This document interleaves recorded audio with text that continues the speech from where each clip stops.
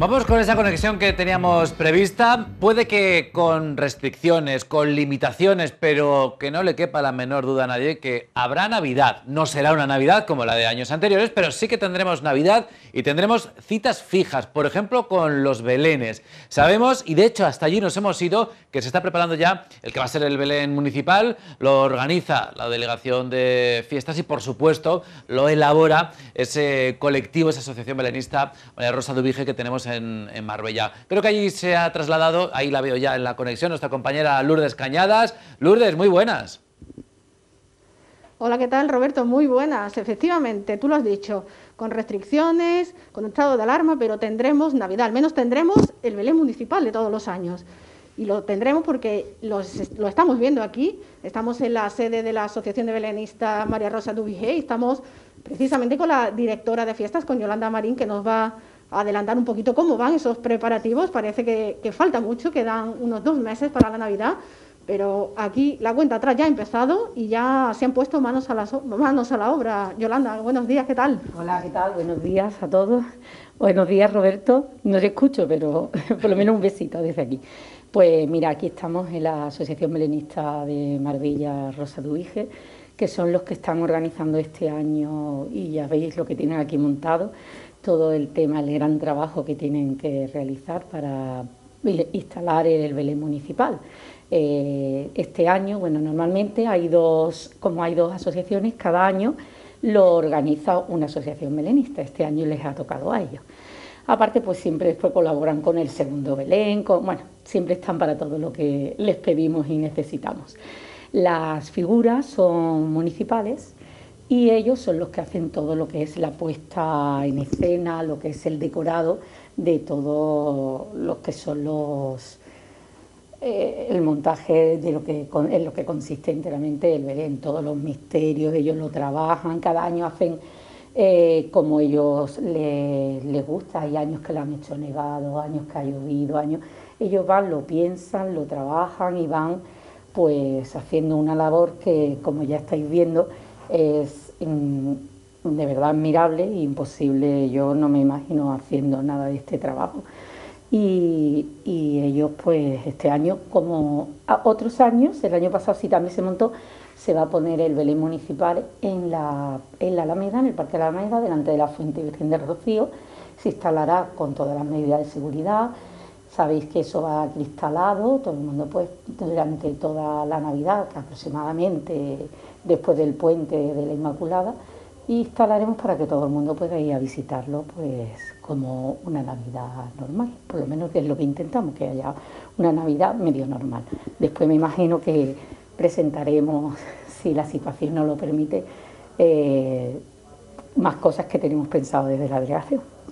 Yolanda, tú lo has dicho, este es el Belén que después se traslada a la Alameda, que vemos todos los años allí, el Belén municipal aunque todavía vemos que bueno, hay mucho trabajo por delante, también queda tiempo. ¿Tenéis alguna fecha aproximada cuando podría quedar finalizado y empezar a visitarse? Pues me imagino que a partir de después del puente, el fin de semana siguiente.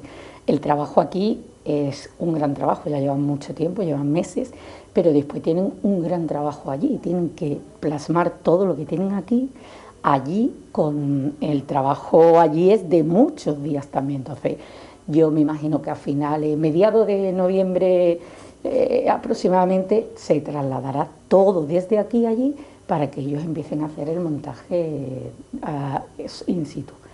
Y yo desde aquí le quiero dar las gracias a esta asociación eh, a Antonio, el presidente, que no ha podido estar hoy con nosotros porque el horario de trabajo no se lo ha permitido, a Lola, a Pichu, Ilan, está Dani, está, bueno, hay mucha gente que está afuera que después tendremos la oportunidad de saludar y la verdad es que hacen un trabajo de verdad que es impagable, exactamente impagable, lo hacen voluntariamente y yo nada más que puedo agradecerle con nuestra gran, nuestro gran corazón de todos mis compañeros de, fiesta, porque la verdad que esto es vamos, una labor preciosa.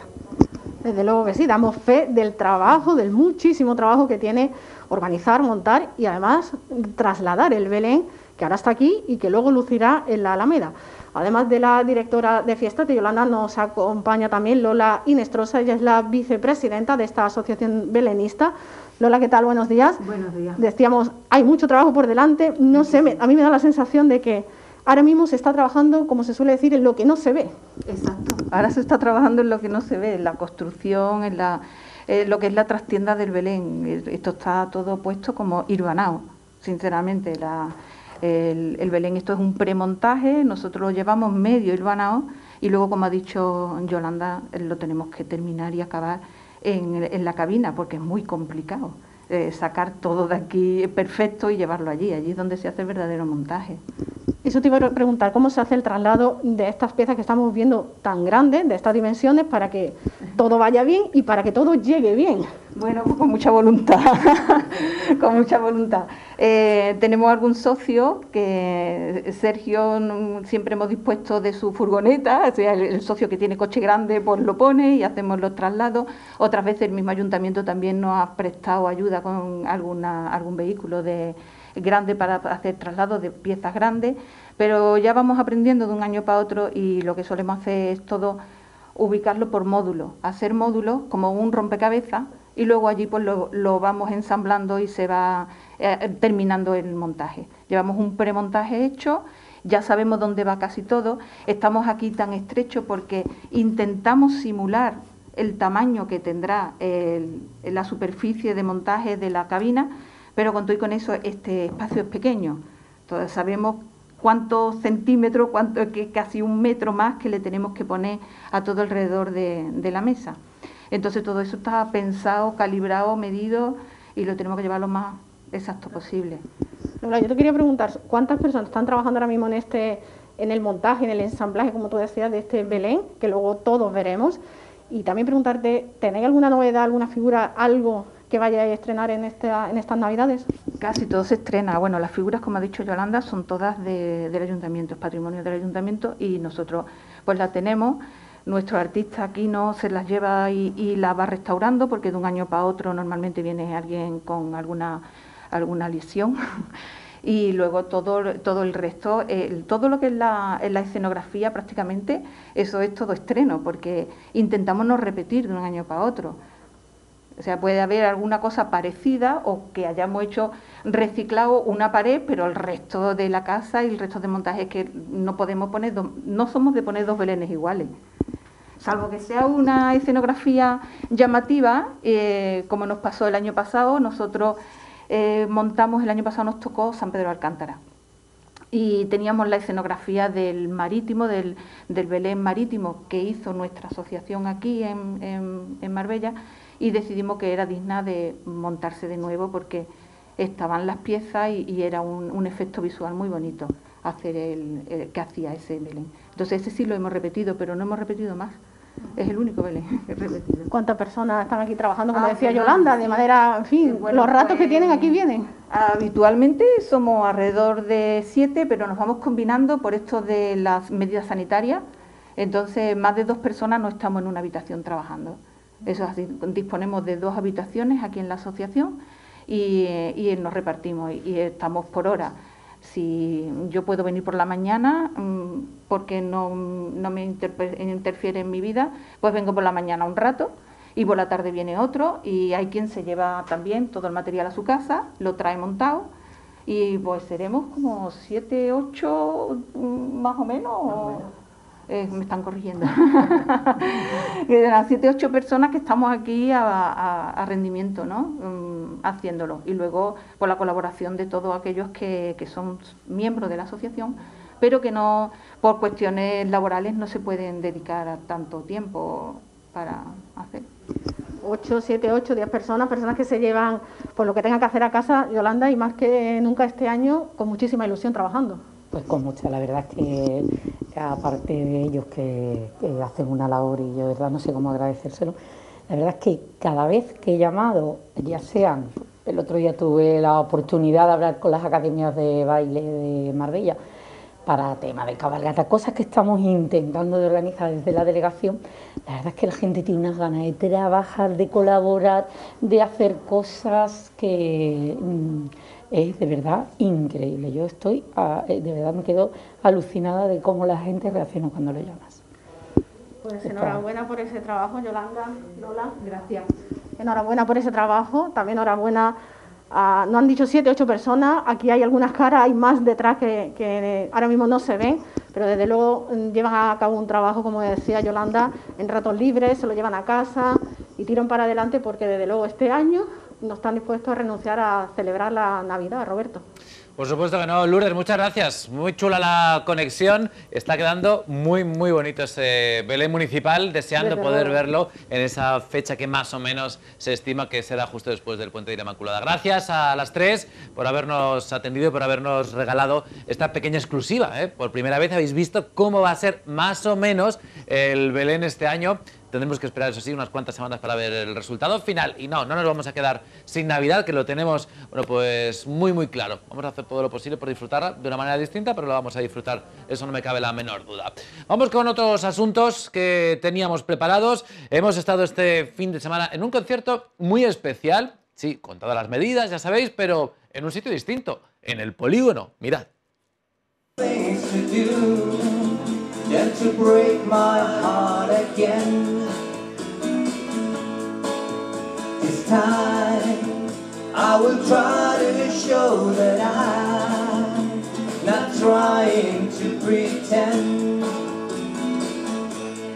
I wanna go, but I hate to leave you. You know I hate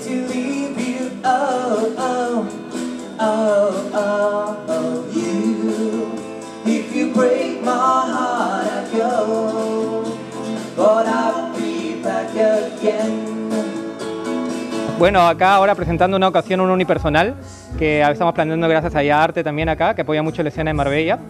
Y bueno, es una cosilla, digamos, en que va a ser algo multiinstrumentista y también va a tener un poco las cuestiones de estudio y de en vivo. O sea, hay cuestiones de estudio como el multipistas, el loop, ciertas cosas de acustrónica aplicado a lo que es una performance en vivo acústica normalmente. ¿no? Y van a ver temas de, de Queen, Led Zeppelin, pero también de Jethro Tull, algunos de Charlie García de la época 70, Cerú Girán, Su Generis, este, el The Doors con el Voz Continental, un poquito, digamos, utilizando un poco los teclados un poco de la época. En este caso son emuladores muy bien, muy bien logrados, ¿no? Originalmente la base es piano y voz, pero además hay sintetizadores. Voy a hacer también el ukelele y hay partes en que voy a hacer la flauta también. Hombre orquesta. Un poquillo, sí. Quiero aplicar, digamos, de cuando en cuando esa... No todo el rato, porque también toco con, con proyectos, con bandas, este, tenemos un como dos, tres proyectos de banda que estoy viendo también momentáneamente, pero ahora lo que, estoy centrándome ahora es este unipersonal, un poco con narraciones, un poquito como algo, digamos, de, de música, pero performance también, performático.